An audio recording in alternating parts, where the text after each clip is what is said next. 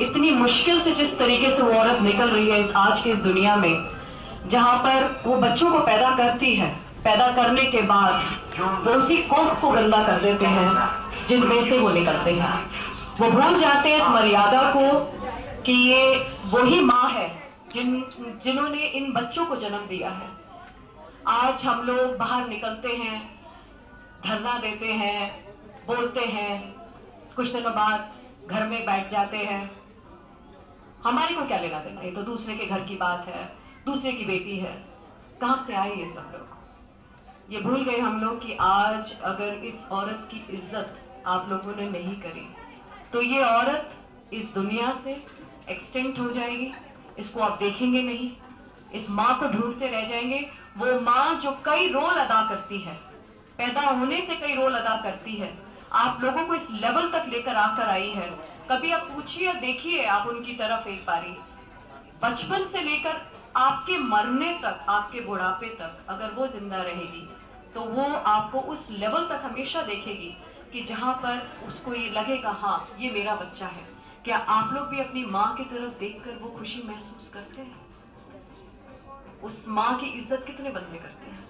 आज आप देखिए इस दुनिया में, आज हम इस हर जगह पे रेप सोसाइटीज को देख रहे हैं। हमारी दिल्ली विच आई से इज़ बिकम रेप दिल्ली क्यों हमें ये सुनने को महसूस होता है? क्यों हम ये चीज़ें यहाँ सुन रहे हैं कि एक रेप दिल्ली है? ये एक माँ की जहाँ ड्यूटी है, वहाँ एक बच्चों की भी तो ड्यूटी है कि अपनी माँ को कैसे ढक कर रखना है, अपनी बहन को कैसे सिर्फ़ बहन नहीं, उसकी गर्लफ्रेंड हो सकती है, उसकी बीवी हो सकती है। किसी और की औरत पर वो बुरी नज़र डालना मुझे नहीं लगता कि ये चीज़ एक अच्छे घराने के लड़के करते हैं। एजुकेशन अगर आप लोगों के पास है तो उसको दिखाइए। मैं दरख्वास्त करूँगी एक माँ से, जो सोसाइटी में, जो अपने घर में ये हमें अपनी लड़ाई अपने घरों से शुरू करनी है। किसी भी आदमी का वो जुल्म ना सहे अपने ऊपर। क्योंकि अगर आज आप वो जुल्म सहेंगी तो कल को यही चीज़ आपके ऊपर हावी हो जाती है। हम अपने हाथ काट कर उनको देते हैं। मैं ये नहीं कह रही कि आप बागी बन जाएँ, पर कम से कम आप अपने लिए लड़े, अपने घर में लड़े। लड़का और लड़की के बीच में डिफरेंस ना लेकर आए। लड़की को लड़का बनाने की कोशिश कीजिए। मुश्किल है आज के जमाने में बहुत पर हमें अपने बच्चों के साथ खड़ा होना होगा। अभी ही मैंने एक रिसेंटली केस देखा है जो थ्रू आउट एज मैं क्रिमिनल साइकोलॉजिस्ट भी रही हूँ। And you have I don't know how many people have seen me in Delhi आज तक. मैं taking up this cause as together और मैं वहाँ पर भी बोलती आई हूँ, ये रेप जो है, वो सिर्फ़ एक लड़की का नहीं है. आपने अभी केस देखा जिसमें सोडोमाइजेशन हुआ है. ट्यूटर ने करा, एक लड़के का भी किया है. इस तरीके से आप ये बात समझिए, एक 57 ईयर ओल्ड जिस आदमी का दिमाग गंदा हो चुका है, ये गंदा नहीं है। ये हम लोग उसे गंदा करने पर मजबूर कर देते हैं। क्यों? वो उसका पहला केस नहीं है ये पेडोफाइल का। ये बहुत टाइम से चलता आ रहा है। हम सिर्फ़ उसको पकड़ नहीं पाते। हमें अपने बच्चों पर ही सिर्फ़ विजिलेंस नहीं रखनी है।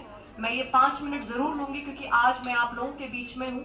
तो ये विजिलेंस सिर्फ़ हमें अपने आसपास नहीं, अपने घर में क्योंकि आपने कई जगहों पर देखा है हम लोग आज देख रहे हैं घर में आ, जो हमारे जान पहचान के लोग हैं वो सबसे ज़्यादा रेप कमिट कर रहे हैं सबसे ज़्यादा सेक्सुअल असॉल्ट है यहाँ पर।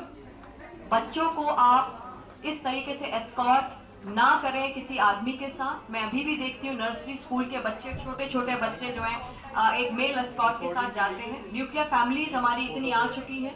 न्यूक्लियर फैमिलीज़ में होने के बाद यहाँ पर पेरेंट्स के पास वक्त नहीं है। बच्चे आपके जो है नौकर के साथ बैठे रहते हैं। इसीलिए पॉन, कितनी क्लिपिंग्स आ गई हैं और बच्चों को दिखाते हैं।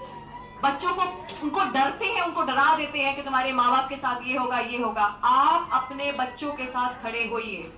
अपने बच्चों को वो एक ट्रस्ट दीजिए कि आप मेरे पास आकर बात कर सकते हैं। प्लीज़ बच्चों में बिहेवियरल चेंजेस देखिए। कि कहाँ पर बच्चा अगर आपके बात करने के दौरान कोई प्रॉब्लम आ रही है और वो बच्चा अपनी पढ़ाई में ध्यान नहीं दे रहा है, किसी पर्टिकुलर जगह में जाने की बात कर रहा है, नहीं जाना चाहता, वहाँ पर डरा डरा सा महसूस करता है बॉय या गर्ल ये बात आप देखिए कि इस वक्त दोनों के साथ ये केसेस चल रहे हैं। संभाल लीजिए अपने बच्चों को, संभाल लीजिए अपनी औरतों को। ये वक्त ऐसा है कि जहाँ पर हम मॉडर्नाइजेशन की तरफ़ तो जा रहे हैं। पर वो एक मॉडर्न फिगर नहीं है। हम खत्म कर देंगे अपने आप को। ये इंडियन कल्चर खत्म हो रहा है। ये अपने घरों से शुरुआत कीजिए। बाहर इंडिया गेट पे जाके धरने देने से कुछ नहीं होने वाला। अपनी इज़्ज़त अपने हाथ में है। अपने घरों में ब्रुटैलिटी को असॉल्ट को बंद कीजिए। मैं चाहती हूँ कि हर एक औरत घर के अंदर से एक अपनी मदर लॉ के साथ, अपनी ननंद के साथ अपने ही साथ, अपनी बेटी के साथ खड़े हुए और उस मेल के अगेंस्ट बोले कि अब बस, बहुत हो गया। क्योंकि ये शुरुआत घर से है। पुलिस कहाँ से आई? पार्लियामेंट कहाँ से आ रहा है? कैबिनेट कहाँ से फॉर्म हुई है?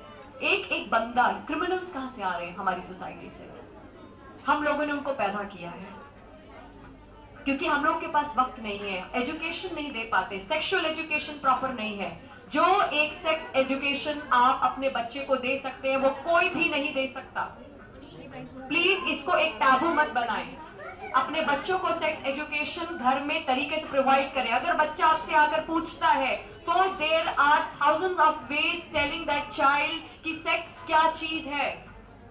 आप इतने छोटे छोटे बच्चे भी रेप पूछते हैं।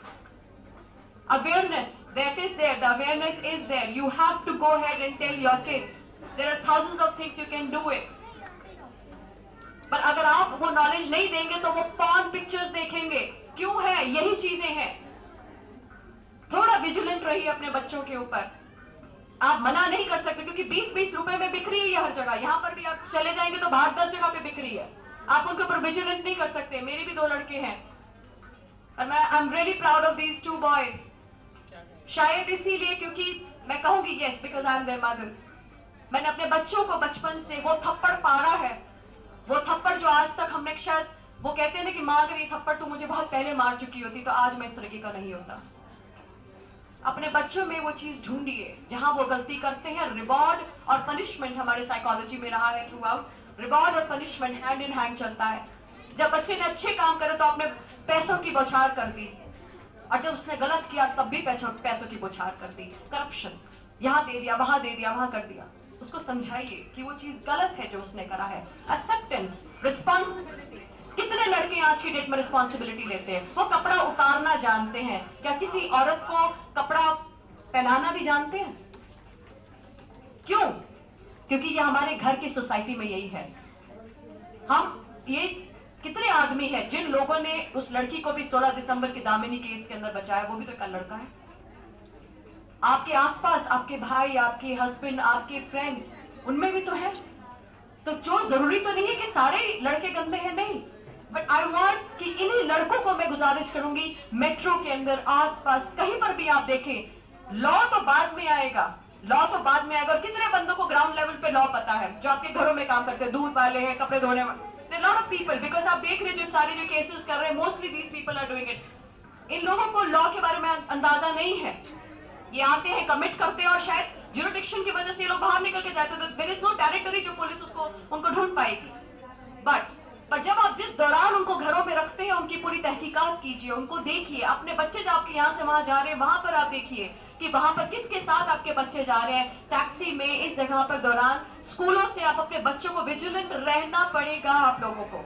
बच्चों से आप प्लीज़ पाँच मिनट अपनी अपनी पूरे 24 घंटे में से पाँच मिनट ज़रूर दीजिए अपने बच्चे को। पूछिए उसके साथ क्या है। और मैं यही बात करूँगी अपने उनके आप, जो आपके हस्बैंड्स हैं और आपके मेल फ्रेंड्स हैं प्लीज़ अगर आप आसपास किसी औरत की इस तरीके से बेइज्जती होते देखें तो आप गाड़ी से उतरिए। उतर के एक बार उस आदमी को धमका दीजिए और उसको बताइए तुम्हारी वजह से ये कौम खराब हो रही है। औरत का रास्ता जिस्म नहीं है दिल है। उसके थ्रू जाएँगे तो उसको पाएँगे।